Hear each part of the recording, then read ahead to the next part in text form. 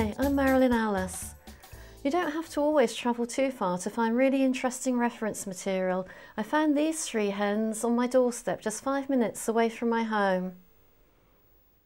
Right, the first thing I need to do is to get the background on. It's quite a big area and I want to keep it very simple. So I'm going to make some washes up and mix plenty of wash because we don't want to run out halfway through. If you start to put a wash on and then you have to mix more, what you can find happens is you get great big cauliflowers appearing. So I'm mixing some raw sienna and a little bit of alizarin crimson into that. And then we're going to have some French ultramarine. I'm putting a lot of water into that. And into the French ultramarine, I'm putting some burnt umber and some cadmium yellow.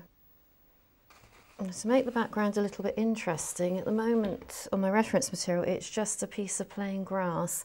I'm going to put a diagonal of the raw sienna and the alizarin crimson through the middle.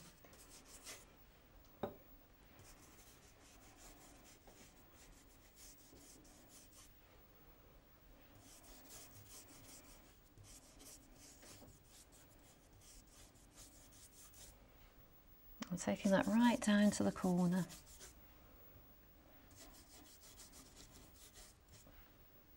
And now I'm putting in the mix of green, which is French ultramarine, cadmium yellow and burnt umber. And then again above that.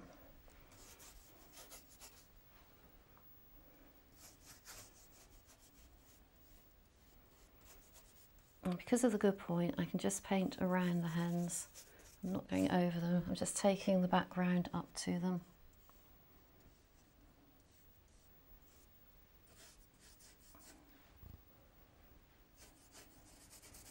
Where the tail feathers are, they're quite dark, they can be painted straight over.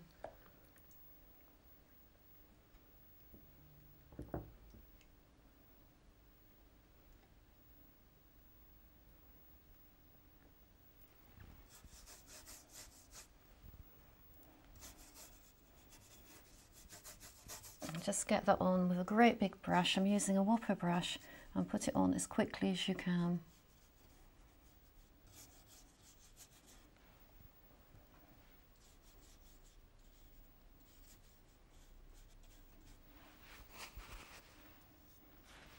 Just check that you've gone right up to the edges.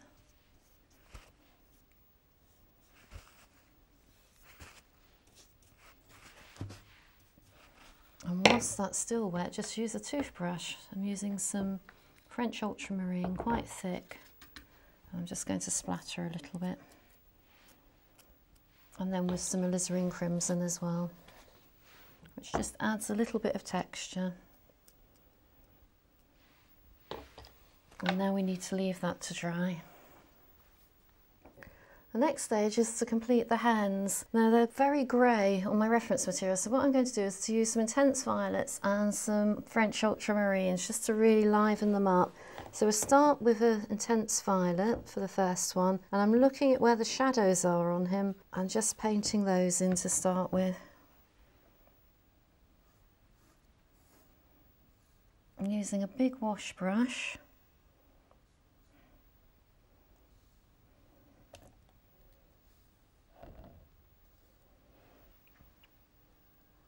a little bit more pigment where it's darker here.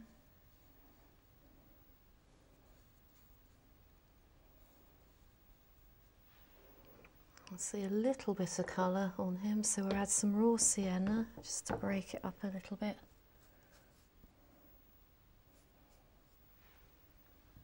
And back to the intense violet. I'm just going to mix some burnt umber into that as well just to try and darken it a little bit.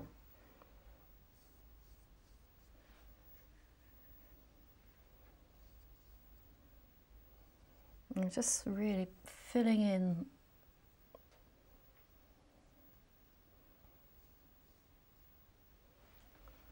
take off some of the pigment with a lighter band here where the sunlight's hitting him. Whilst that's still damp, I'm going to mix some Prussian blue and some sepia. Very thick with very little water. Just blend in some of those tail feathers.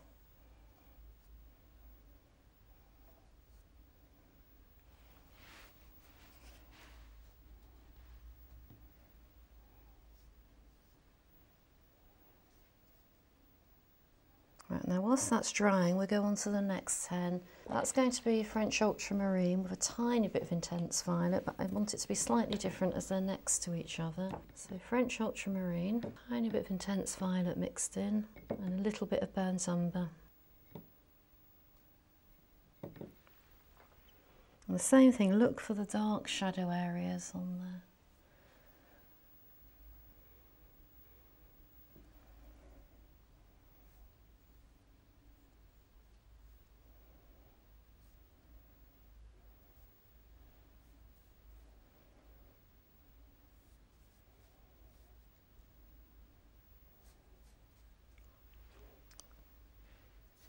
Quite dark underneath and there's a band of a medium tone just running through the middle. Just make that slightly lighter. And same thing, mix in that Prussian blue and sepia into the tail.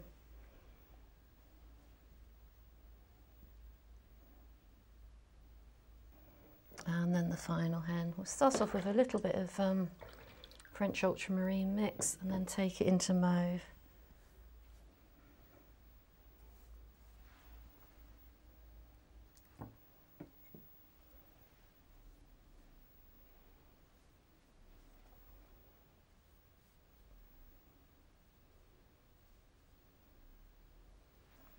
Tiny bit of raw sienna, I'll just use a different brush to pick that up.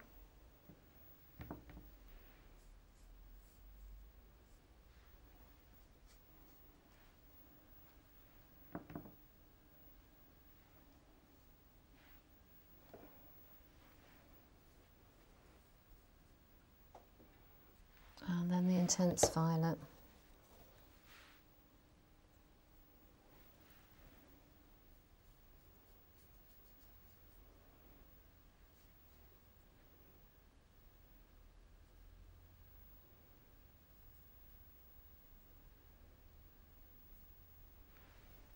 and then into the Prussian blue and sepia.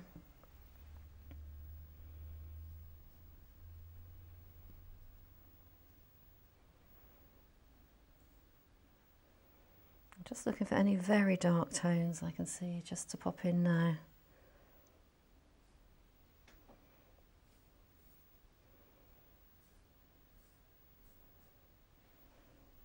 Right, I need to let that dry now and then do a few dry brush marks.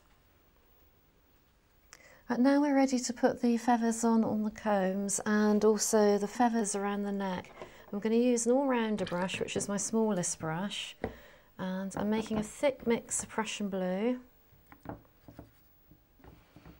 and sepia. It's very, very thick, hardly any water, lots of pigment on there. And I'm just looking at where the feathers are flowing and I need to pick out the movement of the feathers so that my paint is running in the same direction.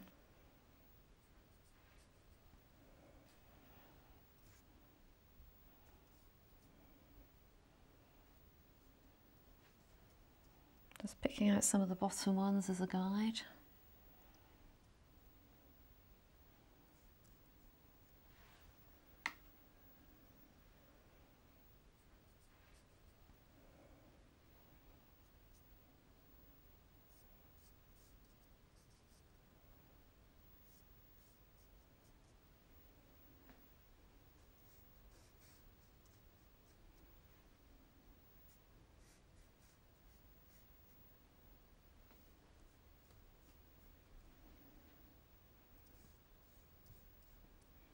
We'll just work our way through all of those first of all.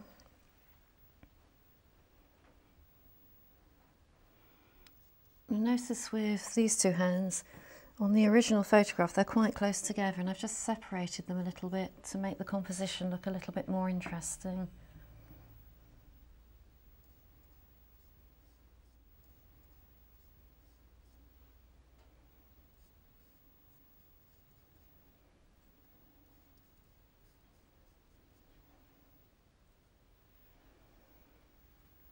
final hen.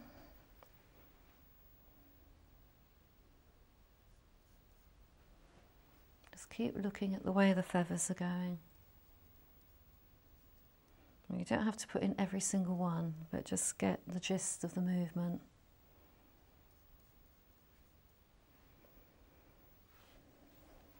And just tidy up some of the tail feathers. That's what we put in before was quite sort of, it was blending with the other colours. Now we just want it a little bit more definite.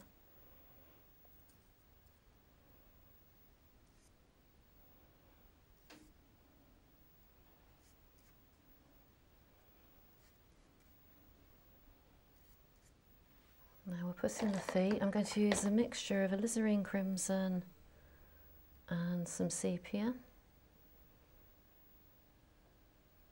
and a little bit of light red.